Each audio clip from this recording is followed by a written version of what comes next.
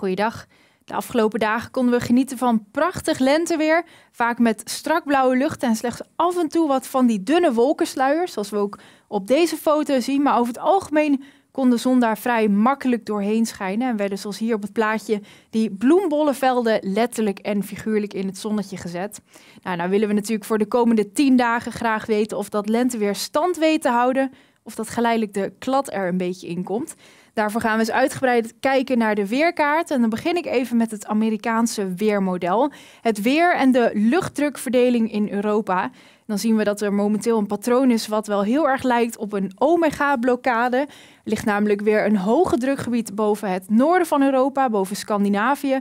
En dat zorgt de afgelopen dagen dus voor dat standvastige en rustige lenteweer. En daarbij ook vrij hoge temperaturen, omdat de zon dus overdag de lucht behoorlijk kan opwarmen.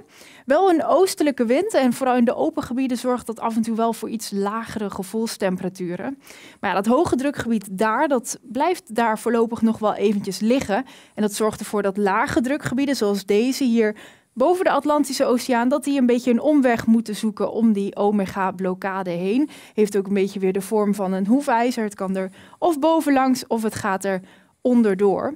Nou, als ik de animatie dan even wat verder laat lopen, dan zien we ook hoe dit lage drukgebied het Middellandse zeegebied induikt. Boven Frankrijk voor flink wat buien zorgt, maar ook in Italië, Spanje en Portugal kan het de komende dagen nog wel even flink wisselvallig zijn. En wat ook opvalt, is dat we zondag dat lage drukgebied ook wat meer richting het noorden zien verplaatsen. Dan gaat dat hoge drukgebied boven Scandinavië wat in kracht afnemen. En dat betekent dat ook bij ons de wisselvalligheid wat gaat toenemen. Nou, als ik de animatie even laat aflopen, dan zien we hoe dat lage drukgebied hier richting het midden en later ook weer naar het noorden van Europa gaat trekken. En dat die omega-blokkade dan geleidelijk steeds meer afbrokkelt.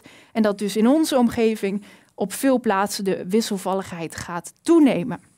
Nou, wat doet dat vervolgens met de temperatuur? Dan pak ik hier even de kaart erbij van 850 hectopascal. Dat is niet de temperatuur aan de grond, maar net een klein stukje hoger in de atmosfeer. Nou, en dan zien we aan het begin van de animatie, dit is op woensdagavond, dan zien we echt die koude lucht nog bij dat lage drukgebied boven de Atlantische Oceaan. En dan dat hoge drukgebied hier boven Scandinavië.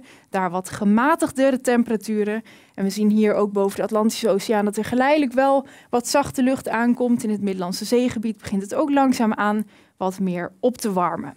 Nou, als die luchtdrukgebieden zich geleidelijk gaan verplaatsen, dan gaat er ook aan de temperatuur wat hoger in de atmosfeer het een en ander veranderen op zondag dan gaat dus geleidelijk de wisselvalligheid toenemen. En dat zien we ook een klein beetje terug aan de temperatuur hier bij dat lage drukgebied.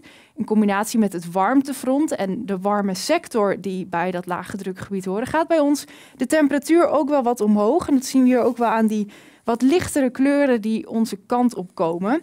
Nou, en de meeste warmte zit vooral in het zuidoosten van Europa. In Griekenland en Turkije gaat de temperatuur alweer richting 30 graden.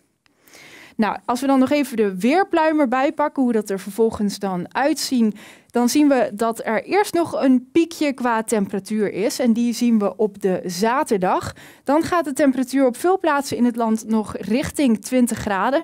Maar na het weekend dan zet de temperatuur toch wel een daling in. Het zijn allemaal niet hele grote verschillen, maar toch wel ja, richting normale temperaturen voor de tijd van het jaar. Zo rond de 15 graden. Misschien dat het in het zuiden en zuidoosten misschien nog wel een paar graden warmer gaat worden. Maar deze weerpluim voor het midden van het land, die gaat toch wel voor temperaturen rond die 15 graden.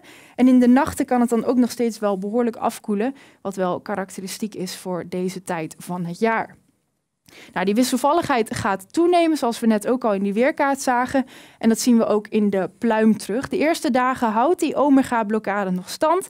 Is het overwegend droog. Maar dan tijdens het weekend, vooral op zondag, dan zien we dat die buienkans weer wat gaat toenemen. Vooral zondagmiddag kunnen er een aantal buien vallen. En de dagen daarna, dan houdt die buienkans aan. En ook woensdag op Koningsdag is het geen garantie dat het de hele dag droog blijft. Ja, en voor de periode daarna, het verloop van de weerpluim, dan zien we toch af en toe wel weer die buienkans opdoemen. En dat betekent dus dat we dagelijks wel kans hebben op wat neerslag. Maar heel grote hoeveelheden zijn het voorlopig niet.